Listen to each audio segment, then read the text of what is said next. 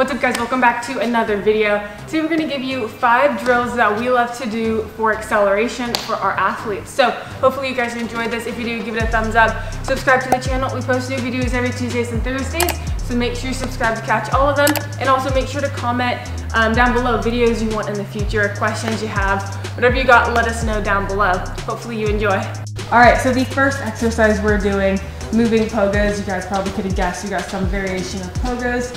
So I love this exercise for numerous reasons, which I've gone over, but if we're talking just specifically for acceleration, it really works on um, building up that foot ankle complex strength. So a big part of acceleration is having a really strong foot ankle complex. So, and then also go single leg. This is usually the routine we have everyone go through.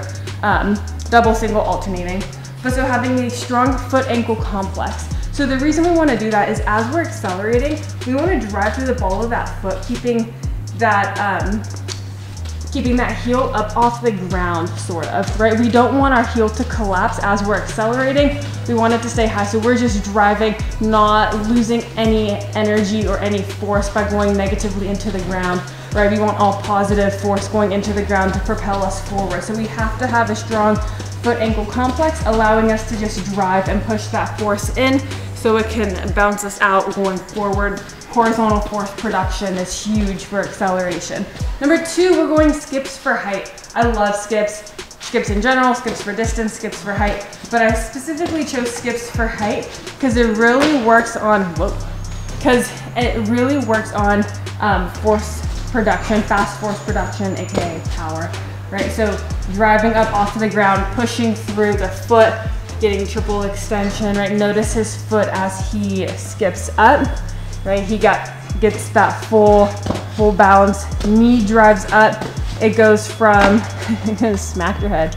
It goes, uh, your knee goes from the normal knee spot, obviously, drives it forward. That's a big thing for acceleration, that knee punching forward. So this is a great exercise for uh, force production. Number three, we're going alternating toe taps. So this is a recent one that I've kind of included in our acceleration training and I absolutely love it. So usually I'll start with a 12 inch and a six inch. I'll do both. The first one we're doing alternating toe taps on the 12 uh, somewhat casually, right? Just not extremely fast, just kind of getting the hang of it. So here, just bounce back and forth. Okay, make sure you use your arms, drive off the ball of the foot. Try to keep that heel off the ground on the foot that's on the ground, like I talked about during moving pogos. Right when we're accelerating, we wanna go from here to here so we don't lose any speed with that negative force going into the ground, right? We don't wanna be running and collapse all the time. So we're gonna start with the 12 inch and we're gonna be going, and then we're gonna move to the six inch and we're gonna go as fast as we can. So we're here, as fast as we can, just get your toes up. So another thing that's creating is a low heel recovery. So we go from here to a low step over the ankle, knee up.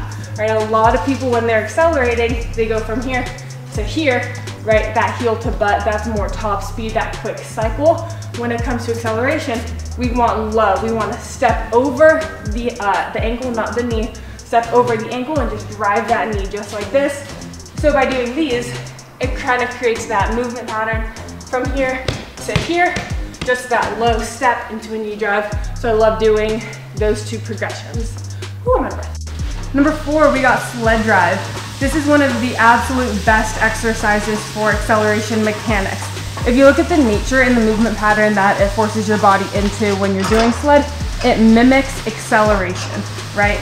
You have an, an, um, a very good lean, low heel recovery, you're driving that knee, full extension in the back. So this is a great way to practice acceleration, practice horizontal force production, the mechanics, the angles, you get a good shin angle, right? Wall drill is another great exercise to do, but if you wanna make it a little bit more dynamic, where they actually have to be moving forward, this is the way that I love to do it. And another thing is if you look at the mechanics of Spencer, like I mentioned, when it comes to doing sled, and then Spencer's pause, when it comes to when it comes to doing sled, right, there's a lot of people who do it incorrectly.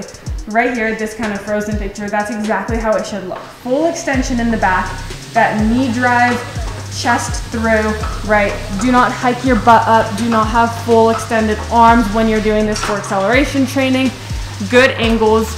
I promise if you load this thing up, get your good angles, drive it, this is going to help transfer to acceleration so well. Look at that. All right, number five, we're doing single leg broad jump. So we have banded and regular. So single leg broad jumps, super awesome for getting horizontal force production. So just going on one, just jumping forward, making sure that once again, you don't let that heel collapse, you stay nice and stiff, right? You're not collapsing every single time you jump. Everything takes you forward. You want it to be a little lofty, but right, everything is just driving you forward. Once again, really great for that low heel recovery, getting down and um, out, kind of like that piston motion versus the cycle. So we're gonna show you guys those. And then I love banded just to add some resistance through the hips. It really forces the lean. With single leg broads, you can kind of get away with being a little bit more upright. But when you add the band, it forces you to lean a little bit more and to get your hips through.